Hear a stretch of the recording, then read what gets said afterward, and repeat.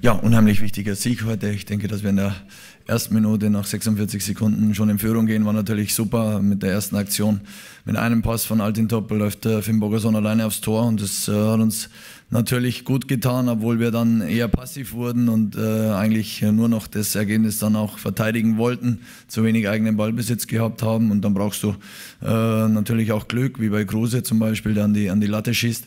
Aber wir haben es konsequent durchgezogen, haben dann effektiv das zweite Tor erzielt. Glaube ich, mit drei Torschancen heute zwei Tore äh, zu erzielen, ist äh, ja eine neue Stärke meiner Mannschaft. Aber es war heute so und äh, dann haben wir mit allem, was wir haben, mit Herz und Leidenschaft äh, unser Tor verteidigt und das über, über die komplette Spielzeit. Und von daher sind wir sehr glücklich neun Punkte jetzt geholt zu haben aus den letzten ähm, drei Spielen und äh, mit den drei wichtigen Punkten heute nochmal Rückenwind zu haben für die letzten Spiele.